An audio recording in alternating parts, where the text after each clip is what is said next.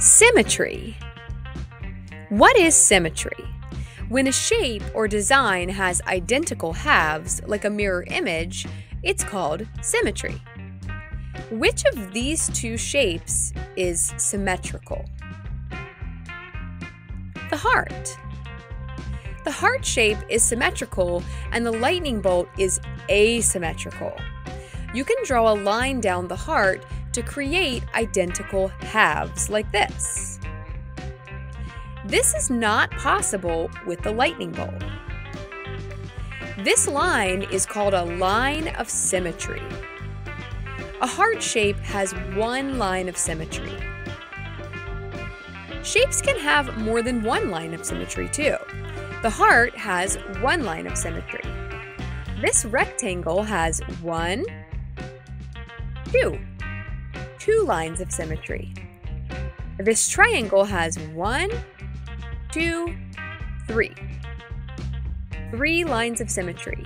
And this square, one, two, three, four. It has four lines of symmetry. Think about symmetry like folding a piece of paper in half. If the two halves line up, the fold is a line of symmetry. Let's try. Here's a piece of paper. I can fold it in half down the middle, like this.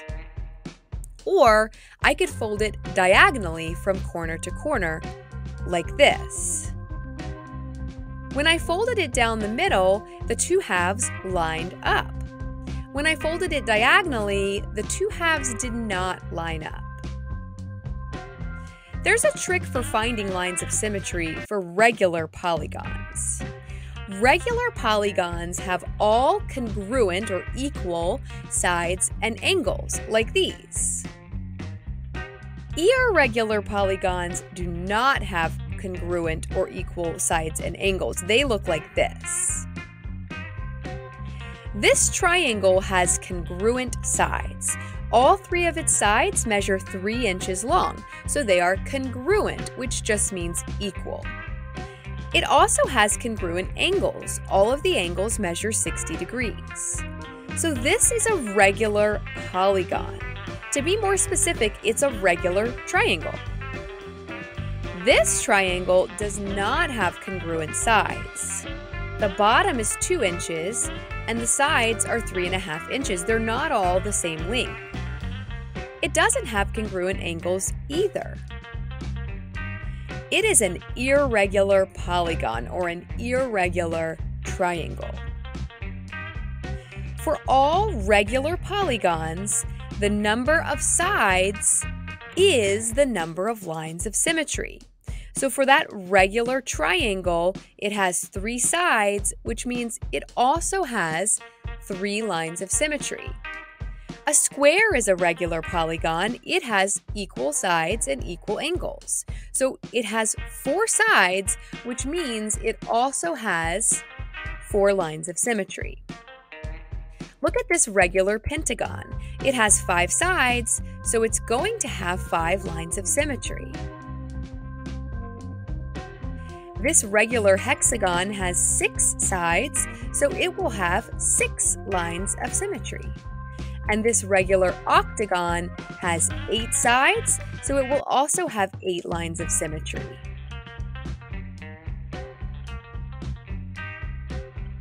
Remember, this only works for regular polygons when they have congruent sides and congruent angles. It won't work for irregular polygons, like this irregular triangle. It actually only has one line of symmetry, even though it has three sides. A rectangle has four sides, but it only has two lines of symmetry. This pentagon is all stretched out. It doesn't have congruent sides. It has five sides, but it actually only has one line of symmetry. This hexagon still has six sides, but it only has two lines of symmetry. And this octagon with eight sides, it also only has two lines of symmetry.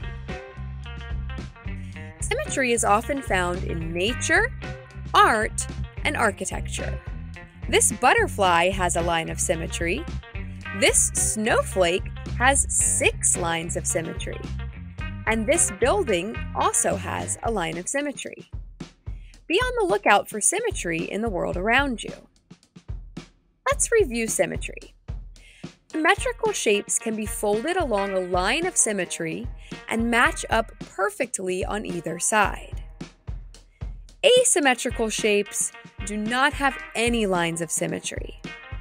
For all regular polygons, the number of sides is also the number of lines of symmetry. This video was created by LaFountaine of Knowledge. Click the link in the description for lesson materials that go along with the video, and subscribe to my channel for more videos like this.